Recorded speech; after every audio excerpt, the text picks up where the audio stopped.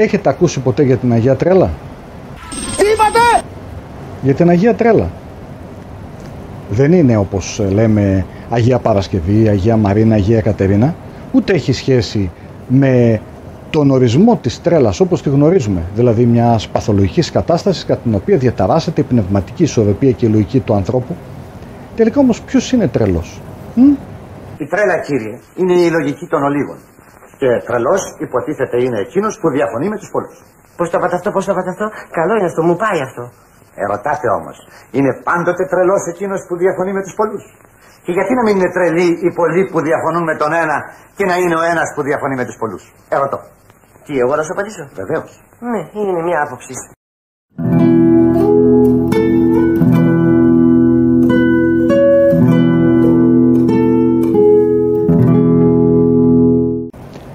Χαίρετε, είμαι ο πατέρα Θεμιστοκλή και ώρα είναι ώρα για πνευματική γυμναστική. Για να μην σας κρατάω σε αγωνία. Η Αγία Τρέλα είναι η τρέλα για την αγιότητα. Δηλαδή, είναι η τρέλα η οποία έρχεται και καταλαμβάνει τον άνθρωπο ο οποίος προσπαθεί με διάφορες τρέλες να κρύψει την αγιότητά του από τους υπόλοιπους ανθρώπους. Δηλαδή, μια πραγματική τρέλα για τον κόσμο.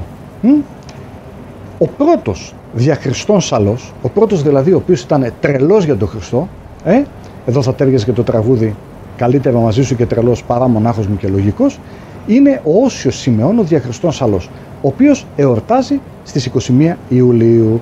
Πέρασαν λίγο ημέρες, αλλά τώρα μπορέσαμε να κάνουμε το βίντεο. Όσιος Σιμεών, μαζί με τον φίλο του Ιωάννη, πήγανε μαζί στους Αγίους Τόπους, προσκύνησαν τον Τίμιο Σταυρό, κατά την ορτή του Τίμιο Σταυρό και έπειτα κατευθύνθηκαν στην έρημο. Βρήκαν κάτι σπήλαια, μείναν εκεί πέρα και αφού επέτυχαν την κάθαρση της καρδίας και τον φωτισμό του Αγίου Πνεύματος, μετά οδηγούνταν σταδιακά προς την θέωση. Αυτά είναι τα τρία στάδια, τα ξέρουμε, κάθαρση, φωτισμός, θέωση. Αφού πέρασαν 29 χρόνια, τότε είχε μια εσωτερική πληροφορία ο Σίμεων και λέει στον συνασκητή του, εγώ λέει θα πάω στον κόσμο, μπας και βοηθήσω καμιά ψυχή να σωθεί. Ο Ιωάννης ήταν αρνητικός και προσπαθούσε να το μεταπίσει. Περνούσαν όμως οι μέρες και ο Σιμεών δεν ησύχαζε. Τότε μια μέρα του λέει: Εγώ φεύγω και πάω να περιπέζω τον κόσμο. Το πρώτο που έκανε ήταν να πάει στη Ιεροσόλυμα, να προσκυνήσει τον Πανάγιο Τάφο και έπειτα να επιστρέψει στην πατρίδα του την Έδεσα. Επειδή όμως με την προσευχή του, αλλά και ακόμα με το άγγιγμα των χεριών του, έκανε πολλά θαύματα. Γιατί ο Χριστός λέει στο Ευαγγέλιο ότι αυτά που έκανα εγώ θα τα κάνετε και παραπάνω από μένα θα κάνετε, εννοώντας τα θαύματα, προσπάθησε να κρύψει την αγιότητά του. Έτσι άρχισε να προσποιείται τον τρελό. Η πρώτη τρέλα του ήταν να βγάλει την ζώνη του και να δέσει έναν ψόφιο σκύλο και να τον τραβήξει μπαίνοντας μέσα στην πόλη. Περνώντας από ένα σχόλιο, τον είδαν κάτι παιδιά και άρχισαν να τον γιουχάρουν και να τον κοροϊδεύουν. Σαν έφτασε στην αγορά, εκεί πέρα τον είδε ένας εστιατόρα και τον έβαλε πολιτή στις ξηρές τροφέ. Ο Όσιος είχε να φάει μια εβδομάδα, οπότε άρχισε να τρώει. Και ό,τι περίσσεψε το έδωσε στους ζητιάνους. Μόλις το κατάλαβε ο εστιατόρα, τον έδιωξε κλωτσιδών. Το απόγευμα όμως, να σου πάλι ο Όσιος, κρατώντας στα χέρια του, στην γυμνή παλάμη του, κάρβουνα και έχοντας πάνω βάλει θυμίαν. Και άρχισε να θυμιάζει εκεί τους παρευρισκόμενους. Μόλις τον είδε η γυναίκα του εστιατόρα, τον ευλαβήθηκε πάρα πολύ.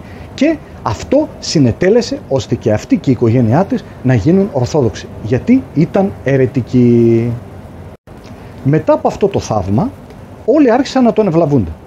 Βλέποντας λοιπόν ότι πάει να αποτύχει ο σκοπός του, δηλαδή να τον περνάνε για τρελό, άρχισε να τρώει κρέας μπροστά σε όλους. Όμως πάλι συνέχισαν να τον ευλαβούνται και ιδιαίτερα η γυναίκα του εστιατόρα. Τότε σκέφτεται, θα ανέβω στο σπίτι του το βράδυ και θα κάνω ότι προσπαθώ να την αγκαλιάσω. Έτσι και έκανε. Μόλις το κατάλαβε ο εστιατόρας, τον έδιωξε κλωτσιδών. Κοντά στο βασιλικό ποτίζεται και η γλάστρα. Να συνεχίσουμε. Ο Όσιος Σιμεών είχε έναν φίλο, το Διάκο Ιωάννη, ο οποίος τον ευλαβούνταν ιδιαίτερα και βλέποντας την σκληραγωγία του, προσπάθησε κάποια στιγμή να τον ανακουφίσει. Τον πήγε λοιπόν σε ένα λουτρό. Τα λουτρά τότε χωρίζονταν σε αντρικά και γυναικεία.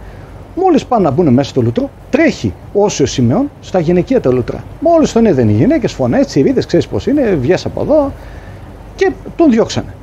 Μετά από λίγο, μόλις το συνάντησε ο Διακοϊάννη, το ρωτάει: Τι αισθάνθηκες όταν μπήκες στα γυναικεία λουτρά, και εκείνος του είπε σαν κούτσουρο ανάμεσα στα κούτσουρα. Όσο ο Σιμεών έκανε παρέα με απλούς ανθρώπους, με ταπεινούς ανθρώπους, με δούλους, υπηρέτριες, υπηρέτες. Έτσι πήρε το θάρρος μια υπηρέτρια που έμεινε έγκυος από έναν άγνωστο και είπε στην κυρία της ότι έμεινε έγκυος από τον Όσιο. Όσιος δεν παραπονέθηκε καθόλου, δεν διαμαρτυρήθηκε καθόλου. Μάλιστα πήγαινε, της αγόραζε κρέας, ψάβια και ό,τι χρειαζόταν για την εγκυμοσύνη της. Όταν έφτασε όμως η ώρα να γεννήσει, εκείνη δεν μπορούσε. Πηγαίνει λοιπόν ο Όσιος εκεί πέρα και της παραστέκεται. Λένε τότε όλοι στον Όσιο. Κάνε προσευχή σαλέ να γεννηθεί το παιδί σου. Και εκείνος χτυπώντας παλαμάκια λέει: Αν δεν ομολογήσει τον πατέρα του παιδιού, δεν πρόκειται να γεννήσει.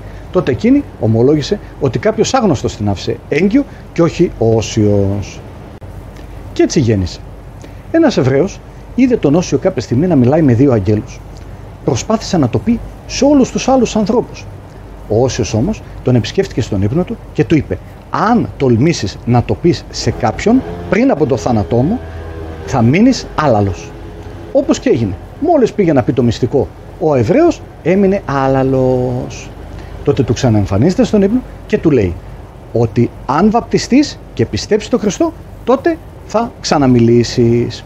Ο Εβραίος δεν έπαιρνε απόφαση να βαπτιστεί μέχρι που μετά τον θάνατο και την κηδεία του Οσίου αποφάσισε να βαπτιστεί. Μόλις βγήκε λοιπόν από την κολυμβίδρα άρχισε ξανά να μιλάει. Μια μέρα περνώντας από ένα πανηγύρι ήταν κάποιες κοπελίτσες οι οποίες χόρευαν και τραγουδούσαν. Μόλις είδαν τον Όσιο, άρχισαν να λένε εσύρα τραγουδάκια, έτσι με υπονοούμενα. Ξέρετε εσείς. Ε, τότε ο Όσιος προσευχήθηκε και όλες χάσαν το ένα μάτι τους. Ε, μείναν μονόφθαλμες. Ω, τότε άρχισαν να τρέχουν από πίσω του και να τον παρακαλάνε να προσευχηθεί για αυτές. Εκείνος της λέει ότι όποια δεχτεί να τη φιλήσω στο μάτι θα ξαναβρει το φως της. Κάποιες το δεχτήκαν. Μόλις τη φίλησε στο μάτι, ξαναβρήκαν το φως της. Οι υπόλοιπες δεν το δεχτήκαν. Όμως, όταν είδανε τις άλλες να θεραπεύονται, τρέξαν από πίσω του και ζητούσαν την θεραπεία τους. Όσιος όμως το αρνήθηκε. Ούτε το ρώτησε ο Διακό Ιωάννης. Γιατί αρνήθηκε να τις θεραπεύσει. Είπε ότι αυτές μονόθαλμες σώζονται. Αλλιώς αν έχουν το φως τους θα γίνουν οι πιο αμαρτωλές της Συρίας. Η νηστεία του Αγίου ήταν υπεράνθρωπη. Τη Μεγάλη Τεσσαρακοστή δεν έτρωγε και δεν έπινε τίποτα μέχρι την Μεγάλη Πέμπτη. Τη Μεγάλη Πέμπτη πήγαινε στο φούρνο, έπαιρνε ένα μεγάλο ψωμί και έτρωγε μπροστά σε όλους. Και τότε το βλέπαν και λέγανε Ε, ο άλλο δεν τρέπεται, λέει, ούτε τη Μεγάλη Πέμπτη δεν μπορεί να νηστέψει. Όσιος ζούσε σε μια ξύλινη καλύβα και κοιμόταν σε ένα δεμάτι από κλιματσίδες. Δύο μέρες πριν πεθάνει, φώναξε το Διακογιάννη και του είπα: Πήγα, λέει, νοερά και συνάντησα τον συνασκητή μου Ιωάννη και άκουσα από τον Θεό να λέει έλα εδώ Ιωάννη να δεχτείς τα στεφάνια της υπομονής της ερήμου και ο Ιωάννης ο συνασκητής του του είπε ότι είδε τον Όσιο Σιμεών και άκουσε τη φωνή του Θεού να λέει έλα εσύ Σιμεών να δεχτείς τα στεφάνια όλων όσων έσωσες την ψυχή. Αυτά για σήμερα. Αρκετές τρέλες είπαμε μέχρι το επόμενο επεισόδιο μην ξεχνάτε να γυμνάζετε την ψυχή σας και να πουλάτε Άγια Τρέλα. Τρέλα! Τρέλα! Τρέλα! Και το μυαλό σου είναι θολό και το δικό της πιο λυψό. Σας εθολώσαν τα λεφτά. Γεια σου φανφάρα φαφλατά!